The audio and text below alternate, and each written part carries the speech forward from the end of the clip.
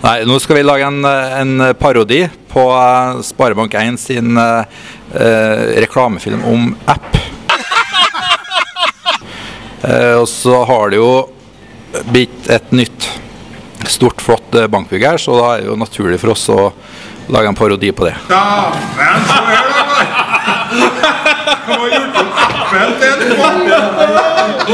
Nei, altså når jeg bestemte meg for det her, så var jo rollen ganske klar. Det var jo om å ta med en som hadde eh, en fantastisk latter.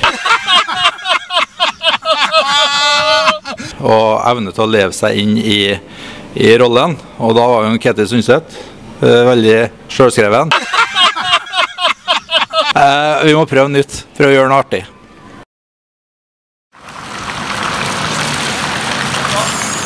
Se her da, gutta!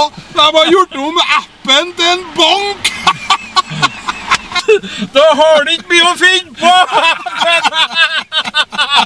Jeg trodde det var akvarium. altså. Det ser da ut som en talmo for å svømme på innsida som en gullfisk! Ja, de har han vel ikke på seg, gutter! De må da vel ta det! Der var han oppå maka!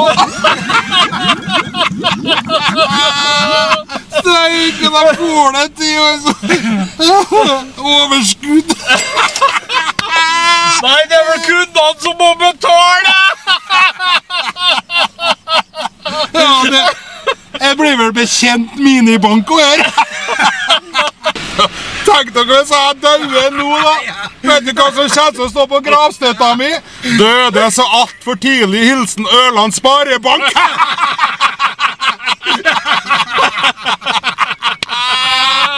Ja, det koster peng, det koster peng.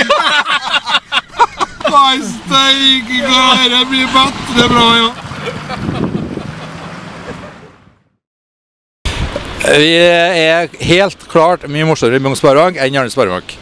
Helt uten tvil. Og det greier vi å dokumentere nå. Det lever seg jo godt inn i Det er jo en, eh, en skikkelig overalt forventningene.